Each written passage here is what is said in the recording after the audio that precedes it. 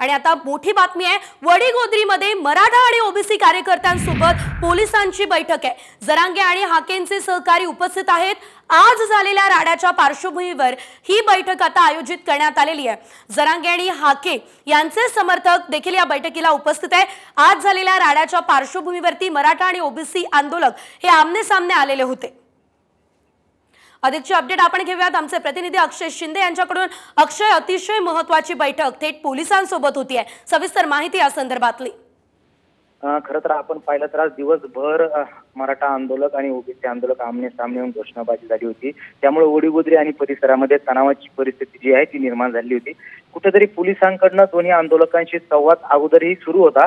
मात्र आता या राड्यानंतर अ, गेवराई बीड हायवेवर औतंबूर हॉटेल आहे आणि त्या ठिकाणी पोलीस आणि दोन्ही कडच्या आंदोलकांची बैठक जी आहे ती सध्या सुरू आहे. पोलिसांकडनं आंदोलकांना समजण्याचा त्या बैठकीत प्रयत्न सुरू आहे. स्वतः जालना जिल्ह्याचे अपर पोलीस अधीक्षक आयुष नोपानी आणि डीवायएसपी खांबेसर हे त्या उप बैठकीला उपस्थित असून दोन्ही बाजूचे जे कार्यकर्ते आहेत समर्थक आहेत ते त्या बैठकीला उपस्थित आहे. आणि या बैठकीमध्ये दोन्हीकडून शांतता राखण्याचं आव्हान जे आहे ते पोलीस प्रशासन करताना आपल्याला त्या बैठकीमध्ये पाहायला मिळत आहे. त्यामुळं एकीकडं वडीगोद्री आणि परिसरामध्ये तणावाची परिस्थिती निर्माण झालेली आहे.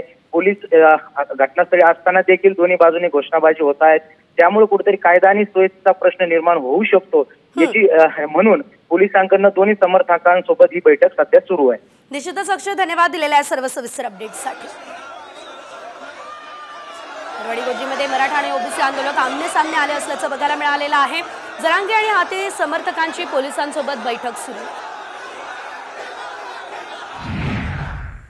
तर एकीकडे आपण बघितलं पोलिसांसोबत बैठक सुरू आहे मात्र का? तर वडेगोत्रीमध्ये मराठा आणि ओबीसी आंदोलकांमध्ये तणाव झाला. दुपारच्या सुमारास दोन्ही गट आमने सामने आले आणि दोन्ही गटांनी जोरदार घोषणाबाजी सुरू केली. पोलिसांकडून आंदोलकांना समजावण्याचा प्रयत्न करण्यात आला. मात्र आंदोलक ऐकायला तयारच नव्हते.